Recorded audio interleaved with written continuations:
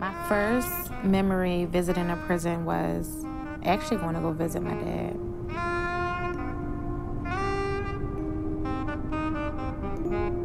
I believe I was about five, six.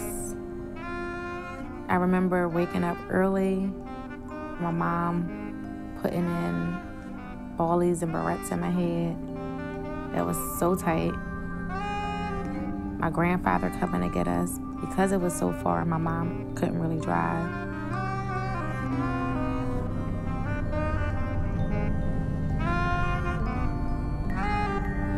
When I got inside, running up to my dad and just smiling.